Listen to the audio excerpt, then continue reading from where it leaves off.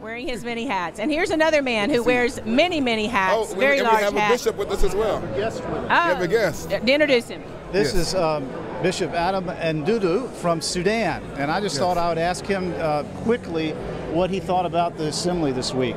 So tell us what Yeah, you thought about. the tell us assembly. about your experience.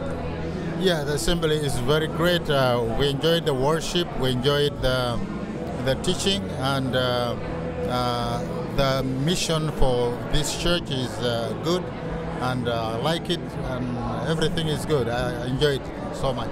Can you tell us a, a little bit quickly about your diocese and your province for those who might not know Or where really you're located? your story. Your story.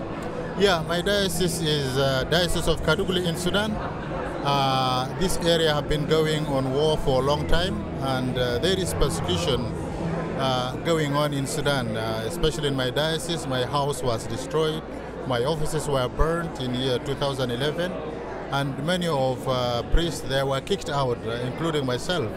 Um, but in the same time, even though many things uh, go wrong, but the church is alive. The church is growing so much, and uh, I'm, I'm very happy for the growth of the church in this time of war.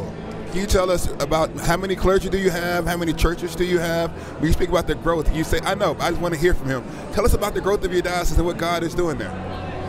Yeah, in this time of war, people relying so much on God, and uh, I have over uh, 100 churches and uh, 118 uh, priests.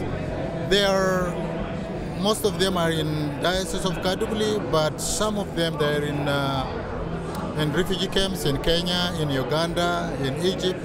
Uh, but the church is growing in all these areas. You know, the, um, the blood of uh, Christians is the seeds, um, is the seeds of the church. So how can we? I'm, I'm sorry, I'm going to ask No, you I one was more just- question. okay, go, ahead. go ahead. Go ahead. Never mind. Oh, I'll stop. just- I'll stop. I was just going to say, I, I just want to encourage folks to pray for Sudan That's what I was about to ask. and, and yes. the church in Sudan and, and the faithful that are there that are really in incredibly tough times. Yes. And so, uh, those of you are listening, uh, just uh, keep Sudan in your prayers. Um, they, they're having a very tough time. Thank you for being with us. Thank you. And- You're welcome. Thank you. God bless you.